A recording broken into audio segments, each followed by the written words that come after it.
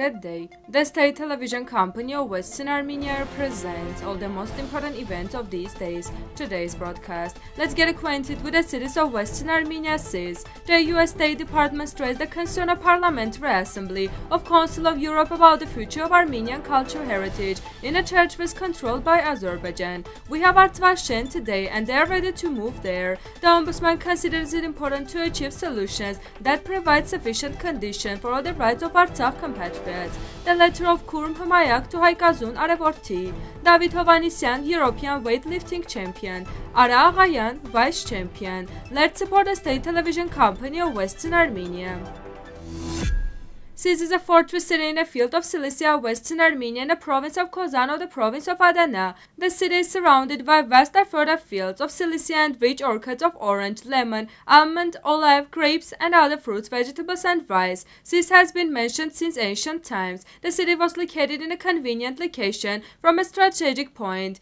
being away from the coast. Sis became more beautiful and built up during the reign of Hatum I and his successors. Near the city, on the inaccessible Sis mountain, there was a powerful and strong Sis fortress built by the hands of Armenians, which was a reliable guarantee of security. Sis was also a major religious center. Churches of size of dozen and half were built in the city at various times. The city also had high schools, worthy of capital. The Armenians of Sis suffered greatly for the massacre 1909 and in 1915-1918 were massively deported and evacuated by the Turkish people.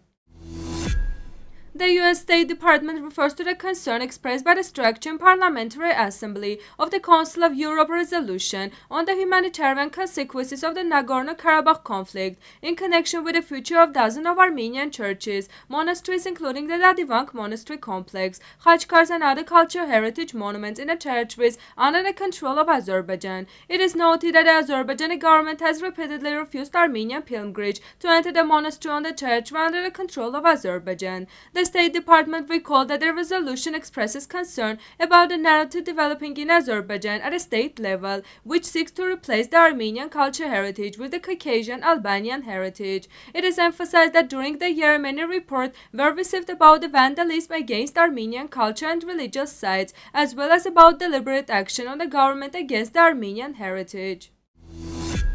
Artsvashen was not an enclave, it was an integral part of Armenia. This was stated by the head of Shogakat community of Gegharkunik region, Suliko Shushanyan, who is from Artsvashen. He noted that the Armenian side should clearly formulate this today and not to try prove that Artsvashen is Armenian. We should not make excuses and try to prove that has already been proven. Artsvashen was, is and will remain Armenian. And today there is an Artsvashen community in Chambarak and the Artsvashen people are ready to return to their settlements. Suliko Shushanyan said 60 and 70% of residents of Artsakh live in Chambarak. Since 1992, the head of Artsvashen community, Mamikon Khechoyan, said that today the legal basis of Armenians cited that since the foundation, since 1854, only Armenians have lived in Artsvashen. Centuries before there were graves and Khachkars, that is Christians lived here until 1854.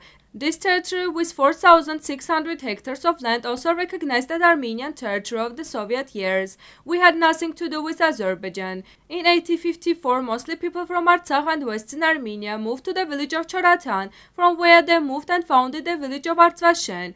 Before that, no Turks have lived there, so we drove them away. They lived there, that is the historical Armenian territory, Khachoyan said.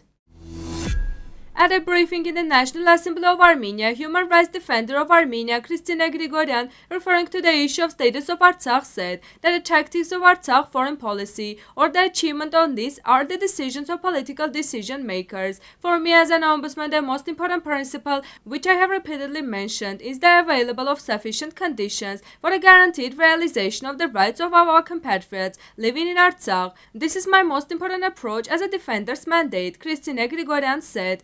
Touching upon the question of whether human rights are currently protected in Artsakh, Grigoryan said that at the moment, of course, it is impossible to talk about the satisfactory state of human rights protection of Artsakh. Obviously, first of all, security issues. People don't have a sense of security. Due to the very aggressive policy and the psychological pressure, pressure or threat, people in many cases were forced to leave their home, could not use their property rights, could not exercise their rights to education, Grigoryan said.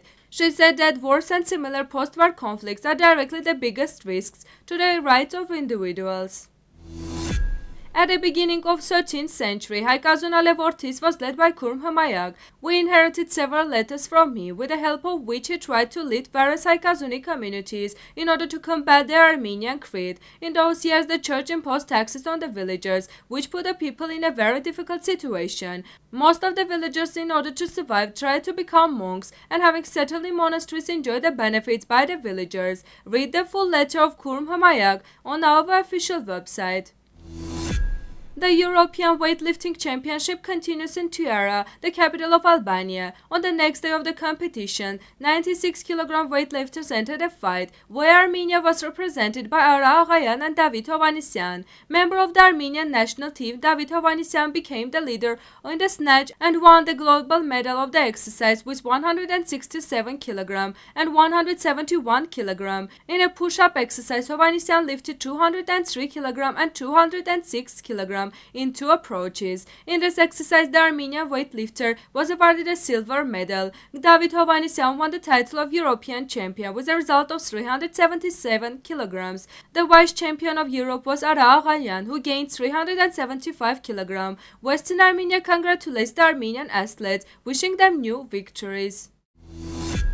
Dear compatriots, patriotic sons of Western Armenia, the leadership of Western Armenia remaining true to its ideas and principles continues to present various events related to the history, present and the future of our country to you in a new way through television and online platforms, inform the political and public events of the government, and it also gives you the opportunity to communicate with each other more closely. Through our television, you can establish direct communication with the government and members of the National Assembly. You can raise issues of concern to you that are directly related to Western Armenia and its citizens. You can also make various interesting proposals. We want to remind you that our television is not engaged in self-promotion, but wants to further expand its capabilities and connections through you. Your support is a victory for all of us. Together we can do more.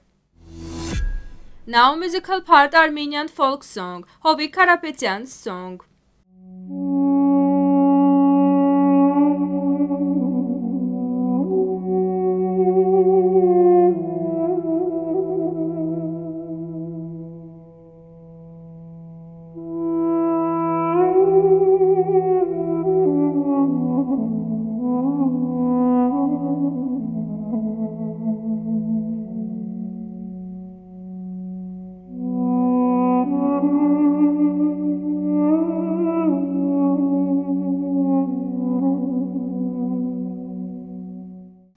The full version of this video is available on Western Armenia's YouTube channel. This was all for today. Goodbye.